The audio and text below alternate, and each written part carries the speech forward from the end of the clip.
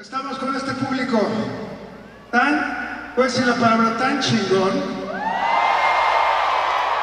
Quiero decirles que Monterrey es una de las ciudades, la ciudad favorita de México. Es una cosa, desde los inicios de nuestra carrera nos adoptaron.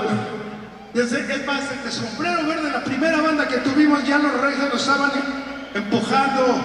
Veníamos muchísimo desde Guadalajara, a veces nuestra camionetita combi, y ahí veníamos poco a poco. Tocamos prácticamente en todos lados. Y ahora volvemos muchos años y seguimos aquí divirtiéndonos, gozándola.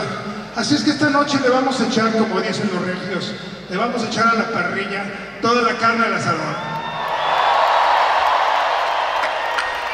Y vamos a movernos un poquito, a mover el trasero. Esta es una canción que hicimos con Carlos Santana, se llama Corazón Espinado.